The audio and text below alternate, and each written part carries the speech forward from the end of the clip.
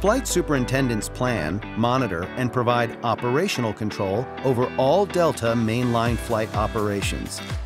This is done with the highest level of safety in mind and in accordance with the Federal Aviation Regulations and Delta Company policies and procedures.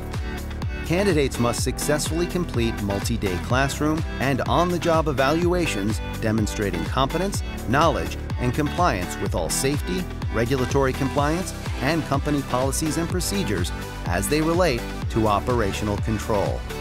The job responsibilities of a flight superintendent are to safely and efficiently plan, execute, and monitor the progress of en route mainline flights, and be able to manage and solve highly complex situations, multitask in a fast paced environment, effectively communicate cross divisionally, and possess a strong operational background.